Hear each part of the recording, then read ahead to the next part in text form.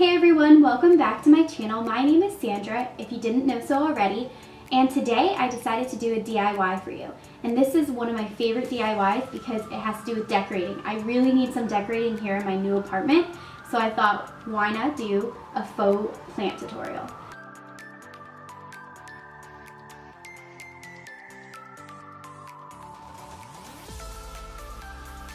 So the first thing that we need to do is remove the plant from the base that came with it at the dollar store. So you're just gonna wanna twist and like pull.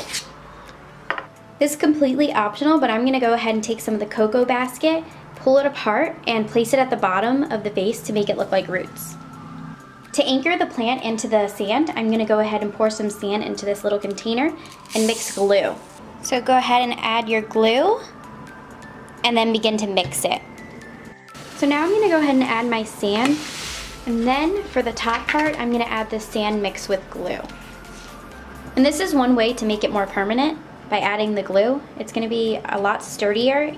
Just because I have some extra river rocks, you don't have to do this, but I just wanna add them to give it some more layers. Um, I know these weren't from the dollar store, but they do have natural looking rocks there and then the white rocks. And then the last thing you need to do is add your succulent. And this is where you can go in with your moss or you can leave it alone. Let me just show you the roots. They look so real.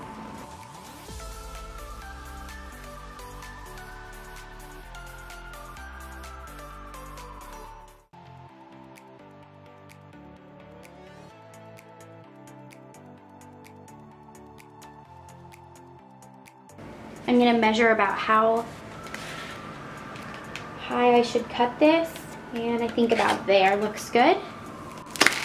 Go ahead and cut my pool noodle. And I'm probably gonna have to add a lot more around the sides of this because it's definitely not, you know, as thick as the pot. So I went ahead and created a stencil for myself. And this is just to put on top of the coco basket. So I make sure that I cut a circle that fits into this area.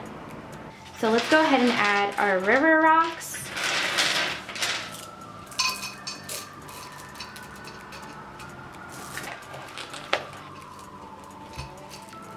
Okay, so now that you made your hole, you can go ahead and add your plant. Oh, don't forget to take your tag off. and there you go. A beautiful succulent that looks extremely real. Oh my gosh, I love it.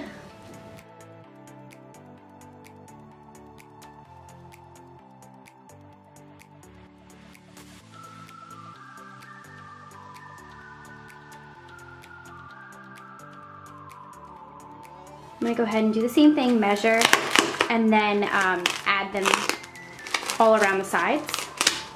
I want it to sit up a little bit higher because the stem isn't so long. I'm gonna add a little bit of chunks into that center piece so that it sits up higher in the plant.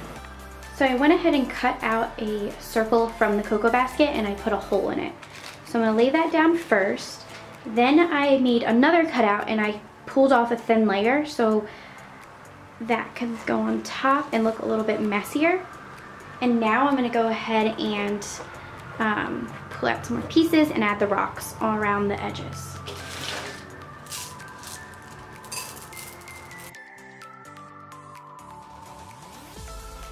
And now I'm gonna add the plant. And then pull out some tufts of this um, basket.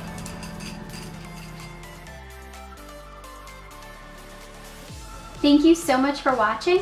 I hope you had fun making some faux plants with me today. And definitely make sure to watch out for some of my new videos that I'm going to be making. I have a lot of good things planned.